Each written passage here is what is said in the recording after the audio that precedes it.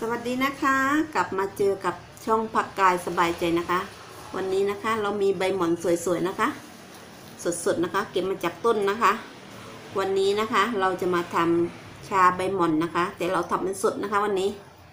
แก้อะไรนะคะ ก็แก้ไขมันในเลือดนะคะ ตัวนี้ดีมากๆเลยนะคะ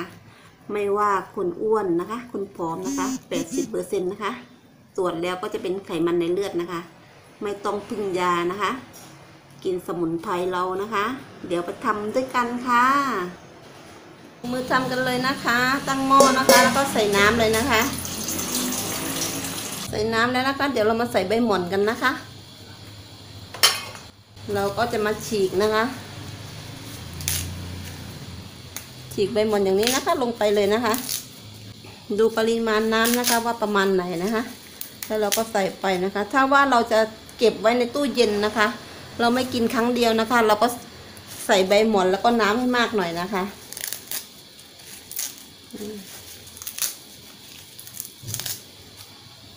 ก็ปิดฝาไว้นะคะ แล้วเราก็ทิ้งไว้ประมาณสักสิบห้านาทีนะคะ แล้วเดี๋ยวมาดูกันค่ะ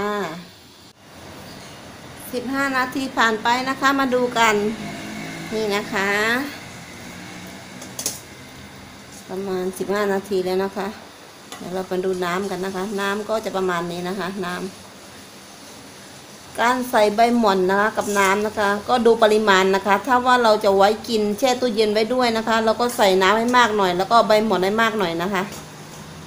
แก๊สเลยนะคะ เดี๋ยวเราไปชิมกันเลยนะคะ นี่นะคะ ก็จะได้ประมาณนี้นะคะ เดี๋ยวเรามาลินน้ำนะคะ กินกันนะคะ นี่นะคะ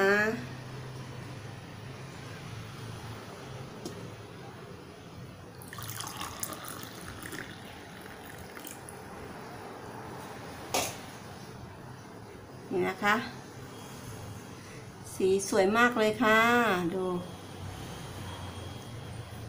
นี่นะคะ